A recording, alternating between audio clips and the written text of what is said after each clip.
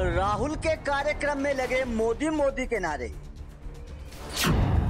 छात्रों ने राहुल के सामने की मोदी की जय जयकार।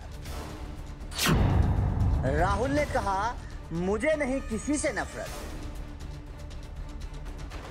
शुक्रवार को महाराष्ट्र के पुणे में आयोजित एक कार्यक्रम के दौरान कांग्रेस अध्यक्ष राहुल गांधी की मौजूदगी में प्रधानमंत्री नरेंद्र मोदी के समर्थन में मोदी मोदी के नारे लगे।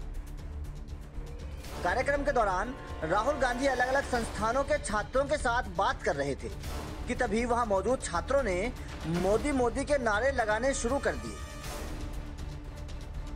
तब राहुल गांधी ने कहा कि उनके मन में किसी के लिए कोई नफरत नहीं है, प्रधानमंत्री नरेंद्र मोदी के लिए भी नहीं। दरअसल इस कार्यक्रम के दौरान राहुल ने कहा था कि मेरे मन में प्रधानमंत्री नरेंद्र मोदी के लिए कोई नफरत नहीं है। उनके मन में मेरे लिए नफरत है।